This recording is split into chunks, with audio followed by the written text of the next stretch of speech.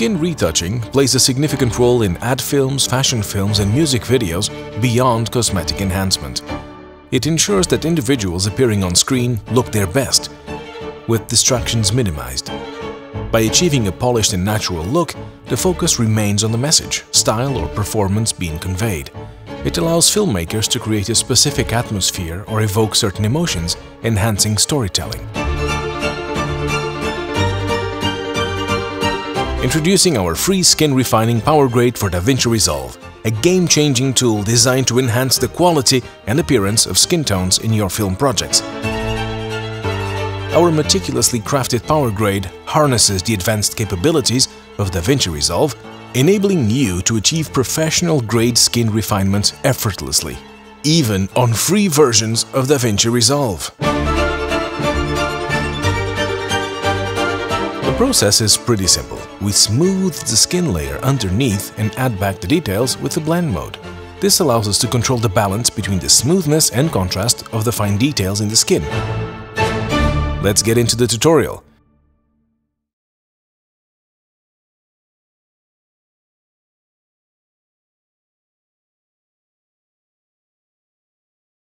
We have our footage right here. We'll start by importing the power grade. As you can see, it's already color corrected and color graded using our LUT. This is before and after the LUT. We'll go ahead and right-click on our power grade and click on Display Node Graph. Once we can access the node graph, we'll go ahead and drag and drop the compound node right before the color space transform node. You can see that it has already made our skin smooth. To refine the adjustment, we'll go ahead and decompose the compound node. Here, within the compound node, the details node controls the smoothness of the skin. But before we can manipulate that, we have to make sure that the node skin mask is oriented properly. We'll go ahead and select the skin mask node and click on the magic wand icon. Play around with our luminance selection slider to make sure we've got the best selection of skin possible. We can play around with the hue and saturation sliders as well. Once we are happy with the selection, we'll come back to the detail node.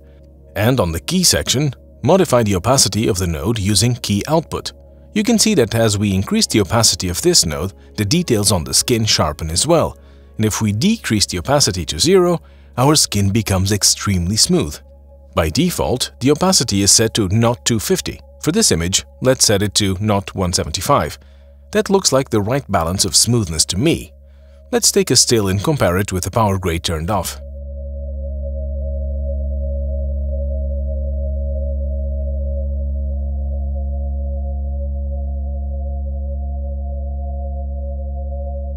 Here's our second shot. We'll go ahead and place the compound node right before the color space transform node. We'll go inside the compound node, make sure our skin selection is in the right range, we'll adjust the opacity of our details node. Here's the before and after. Here's our third shot. It's already color graded, here's before and after using our LUT.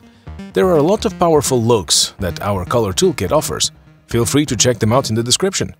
Let's go ahead and place our compound node before CST node. Let's adjust skin selection and adjust skin details. Here's before and after. Here's our last shot. We'll repeat the same steps as our previous footage. Here's before and after.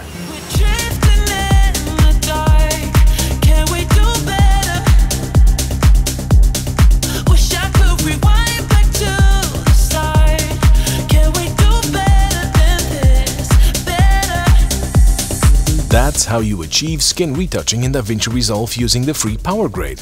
Make sure to check out our film emulation Power Grade as well. Don't settle for the ordinary.